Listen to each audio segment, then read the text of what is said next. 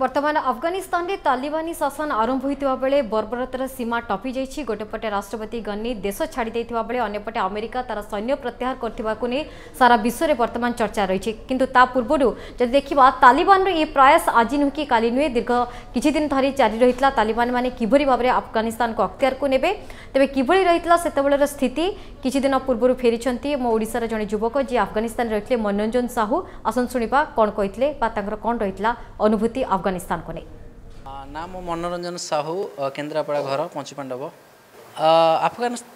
ତାର ପ୍ରତିକ୍ରିୟା ତ କହିବାକୁ ଗଲେ ଏବେକା ଟାଇମ୍ରେ ବହୁତ ଖରାପ ବହୁତ କଦର୍ଯ୍ୟ ଲୋକଙ୍କମାନଙ୍କ ସହିତ ଯେଉଁ ବ୍ୟବହାର ହେଉଛି ଯେଉଁ ଅତ୍ୟାଚାର ହେଉଛି ଯେଉଁ ଜଘନ୍ୟ ପ୍ରକାର ଅତ୍ୟାଚାର ସେ ତ ବହୁତ ନିନ୍ଦନୀୟ ବହୁତ ଦେଶ ପାଇଁ ତାଙ୍କ ଦେଶ ପାଇଁ ଆମ ଦେଶ ପାଇଁ ସାରା ଦୁନିଆ ପାଇଁ ବହୁତ ନିନ୍ଦନୀୟ କଥା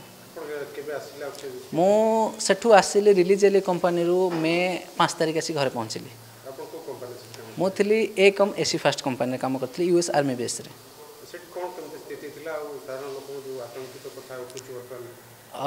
ଏ ତ ବେସ୍ ଆମର ଆର୍ମି ବେସ୍ କ୍ଲୋଜ୍ ହେବା ପରେ କୋଡ଼ିଏ ବର୍ଷ ଦୀର୍ଘ କୋଡ଼ିଏ ବର୍ଷ ଧରିକି ଆର୍ମି ବେସ୍ ତାଙ୍କର ବେସ୍ ଚଳାଉଥିଲେ ସେଠି ସୋଲଜରମାନଙ୍କୁ ନେଇକି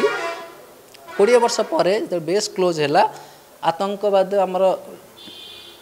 ତାଲିବାନ ମାନେ ସେ ତାଙ୍କର ଆତଙ୍କବାଦୀ ସୃଷ୍ଟି ଆରମ୍ଭ କଲେ ସେତେବେଳେ ବହୁତ ଏଣୀ ଓପନଲି ବହୁତ ଆତଙ୍କ ସୃଷ୍ଟି କରୁଛନ୍ତି ତାଙ୍କର ସେଠିକାର ନାଗରିକମାନଙ୍କୁ ସେଠିକାର ଝିଅ ବୋହୂ ସ୍ତ୍ରୀ ଲୋକମାନଙ୍କୁ ବହୁତ ଅତ୍ୟାଚାର କରୁଛନ୍ତି ତା ପୂର୍ବରୁ କହିବାକୁ ଗଲେ ସେମାନେ ଏକ ପ୍ରକାର ଡରୁଥିଲେ ଆମେରିକାନ ମାନେ ସୋଲଜର ମାନଙ୍କୁ ଯେଉଁଟାକି ନିଜ ଅକ୍ତିଆରେ ରହୁଥିଲେ ତାଙ୍କୁ କଣ୍ଟ୍ରୋଲ କରିକି ରଖୁଥିଲେ ଆମେରିକାନ ମାନେ ଯେଉଁଟାକି ବାହାରୁ ସେମାନେ ବେସ୍ ଭିତରକୁ ଆଟାକ୍ କରୁଥିଲେ ବମ୍ ଆଟାକ୍ କରୁଥିଲେ ରକେଟ୍ ଆଟାକ୍ କରୁଥିଲେ ଯେଉଁଟାକି টিকে ନର୍ମାଲ୍ ପରିସ୍ଥିତି ଉପରେ ଥିଲା ତଥାପି କଷ୍ଟଦାୟକ ଥିଲା ବହୁତ ଦୁଃଖଦାୟକ ଥିଲା ଲୋକଙ୍କ ମଧ୍ୟ ଜୀବନ ଯାଇଛି ସିଭିଲିଆନ୍ମାନଙ୍କ ଜୀବନ ଯାଇଛି ଆମର ଆର୍ମି ସୋଲଜର୍ମାନଙ୍କର ଜୀବନ ଯାଇଛି ବହୁତ ଲୋକଙ୍କର ଅଙ୍ଗ ବି କିଛି ଲୋକଙ୍କର ନଥାଏ ଏମିତି ଭୋଗିଛନ୍ତି ବହୁତ କଷ୍ଟ ଆମେ ଭୋଗିଛୁ ବହୁତ ମୁଁ ସେଠି କାବୁଲରୁ ତିରିଶ କିଲୋମିଟର ଦୂରର ବାଗ୍ରାମ ବେଲି ଗୋଟେ ସହର ଥିଲା ସେଇ ଏରିଆରେ ମୁଁ ରହୁଥିଲି କ'ଣ କହିବେ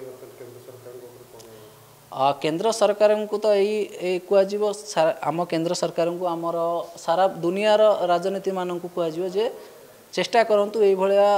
ଆତଙ୍କବାଦୀ ପ୍ରଶୟ ନଦେବା ପାଇଁ ଚେଷ୍ଟା କରନ୍ତୁ ସବୁବେଳେ ଶାନ୍ତି ଶୃଙ୍ଖଳା ରଖିବା କରିବା ପାଇଁ ଆଉ ସେମାନଙ୍କର ନାଗରିକତା ସେମାନେ ସ୍ୱାଧୀନତା ଫେରାଇ ଆଣିବା ପାଇଁ